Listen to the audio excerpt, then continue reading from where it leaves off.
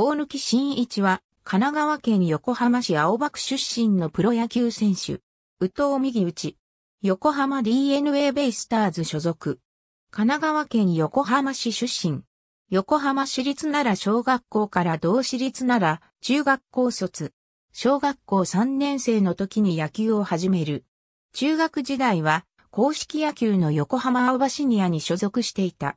なお、シニア時代はチームの出場メンバーに入ることができないこともあったという。中学卒業後は地元を離れ、静岡県の桐火高等学校に進学。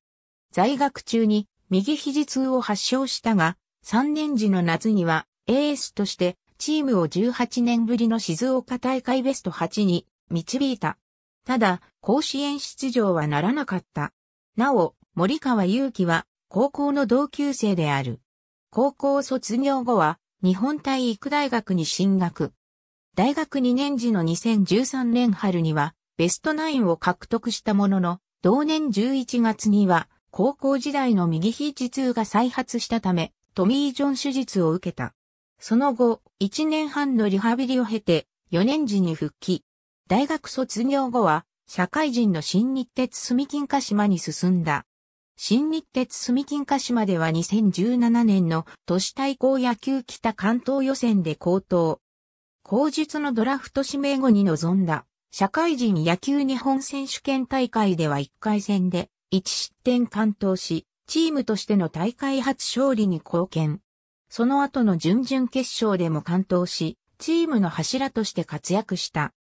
2018年10月25日に行われたドラフト会議で横浜 DNA ベイスターズに3位指名を受け、11月15日に茨城県上須市内のホテルで契約金6000万円、年俸1200万円で仮契約を結んだ。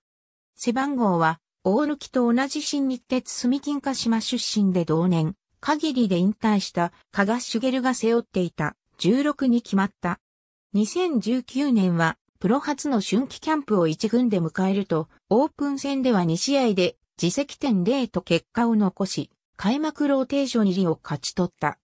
初先発となった4月4日の東京ヤクルトスワローズ戦では、3回途中4失点で、降板し勝敗がつかなかったが、4月11日の阪神タイガース戦では5回5安打1失点で、プロ初勝利を記録した。シーズンを通じては7度の昇格及び降格を味わうなど、1軍と2軍を行き来する日々が続いたが、チーム3位の6勝を記録した。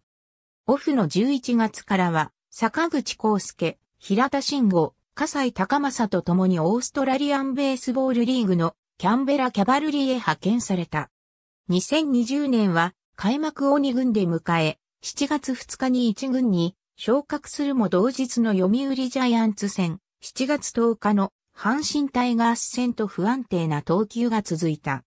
しかし中3日で臨んだ7月14日の中日ドラゴンズ戦では8回を投げて3安打に失点と高騰してシーズン初勝利を挙げると、さらに9月5日の広島東洋カープ戦では8安打1失点でプロ初の関東勝利。またこの勝利で自身6連勝を飾った。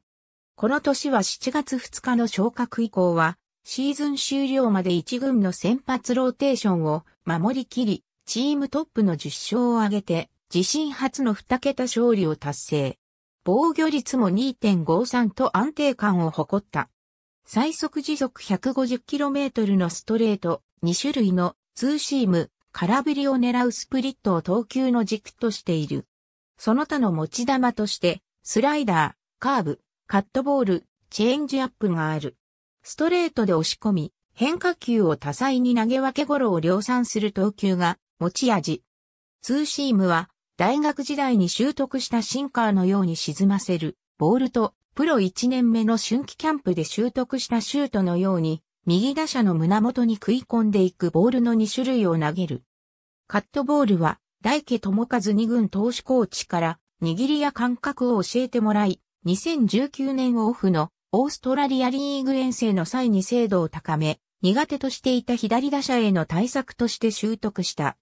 チェンジアップは社会人時代にはうまく使いこなせなかったが、今永翔太や浜口遥平同僚の使い手にも助言を仰ぎ、投げ方や握りを工夫し作り上げた。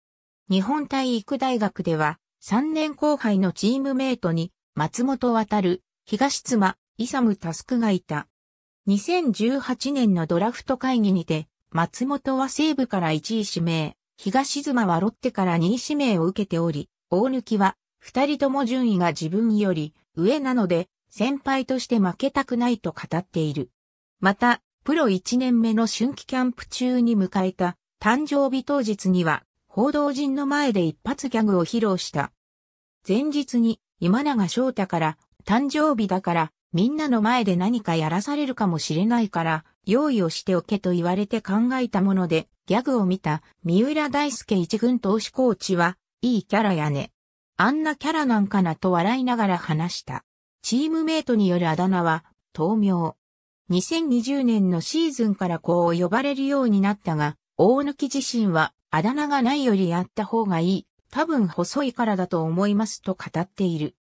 俳優の白又敦は小学校、中学校時代の幼馴染であり、大貫がプロ初勝利を挙げた試合後に白又からラインが来て、祝福を受けたというエピソードを2021年4月8日、放送分の猫の額ほどワイドで白股が語っている。幼少期からのベイスターズファンであり、本拠地である横浜スタジアムに観戦に訪れたこともあった。ありがとうございます。